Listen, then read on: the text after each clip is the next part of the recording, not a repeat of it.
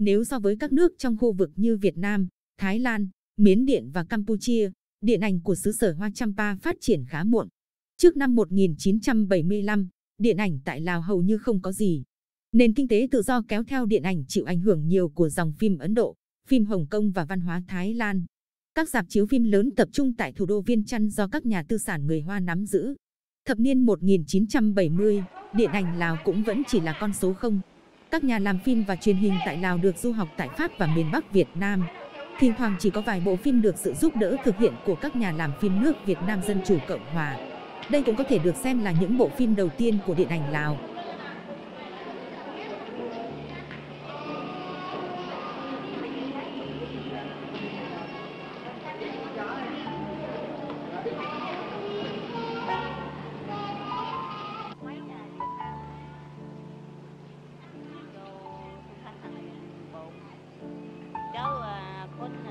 À, ghép hồn mình bà Đúng rồi. nó nó nghe nó người ghép máu ออกไปเรื่องนี้ก็ไม่ติดครับก็รถไฟไปไอ้พวกไอ้เจ้านักกีฬาพวกเขากำลังต้อง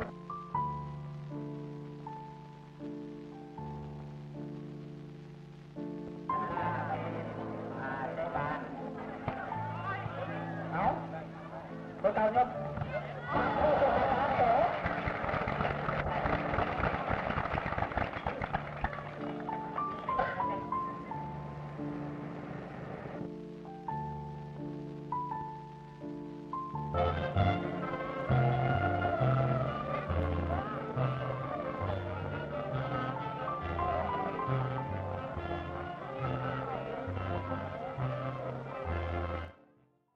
Những năm sau 1975, các rạp chiếu phim Lào thường chiếu các phim của các nước thuộc khối xã hội chủ nghĩa như Liên Xô, Việt Nam, Đông Âu. Những bộ phim ghi đậm dấu ấn của điện ảnh Lào là Siết Lào, 1976, Đỏ Hoa Sen, 1988, Chào Luang Rabang, 2001.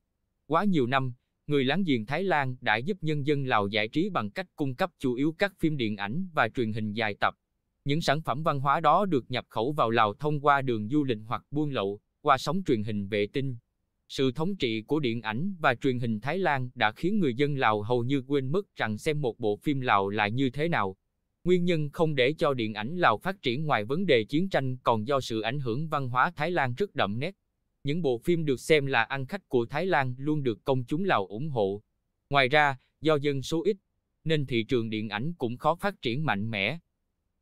Trở ngại chính cho sự phát triển của điện ảnh Lào là hệ thống rạp chiếu kém phát triển, hiện tại chỉ có 3 rạp.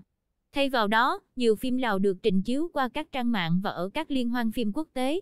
Ngành điện ảnh hiện đại Lào non trẻ nhưng phát triển mạnh trong những năm qua khi khán giả Lào bắt đầu dành sự chú ý và có nhu cầu cao hơn với phim sản xuất tại Lào và phim do người Lào sản xuất. Ngoài các tác phẩm điện ảnh chính luận trong thời kỳ chiến tranh đến thời đại công nghệ ngày nay, chủ yếu các tác phẩm điện ảnh của Lào hiện tại đều dừng ở quy mô nhỏ, được sản xuất bởi các studio nhưng có chất lượng khá tốt về nội dung lẫn kỹ thuật. Tuy nhiên, mọi việc rồi cũng đã qua, đã có sự thay đổi. Các nghệ sĩ và nhà làm phim trẻ của Lào đã rất nỗ lực để mang ánh sáng trở lại các phòng chiếu phim của Lào. Đầu năm 2012, cuốn phim kinh dị giã sử Lào đầu tiên được trình chiếu tại Lào, tạo nên một đám đông trẻ trung và mang tới cảm giác thú vị của một hoạt động chiếu phim như ở bất cứ quốc gia nào khác trên thế giới. Cùng thời điểm đó, một đoạn phim hài lãng mạn của đạo diễn Thái, Lào xuất hiện trên YouTube. Bộ phim được quay hoàn toàn ở Lào. Có sự tham gia của các diễn viên Lào nghiệp dư đã tạo nên dấu ấn mạnh mẽ từ Viêng Chăn tới Park Se. Năm 2016 đánh dấu bước ngoặt của điện ảnh Lào khi phim hình sự Athe Horizon được phát trên đài HBO. Động thái này nằm trong nỗ lực của Liên hoan phim Luang Prabang nhằm phối hợp với HBO để chiếu nhiều tác phẩm Đông Nam Á hơn. Đạo diễn Athe Horizon, Ani Sẩy Kẻo Lả, là một thành viên ủy ban chọn phim dự Oscar của Lào. Năm 2019, cô gái gốc Việt Marty Đỗ là nữ đạo diễn hiếm hoi, ghi dấu ấn lớn trong công nghiệp điện ảnh nước này khi đưa những thước phim rùng rợn lần đầu chạm ngõ Oscar. Hy vọng, trong tương lai, những nhà làm phim tài năng của đất nước triệu voi có thể khẳng định vị thế của mình, không chỉ trong nước mà còn được khán giả quốc tế đón nhận.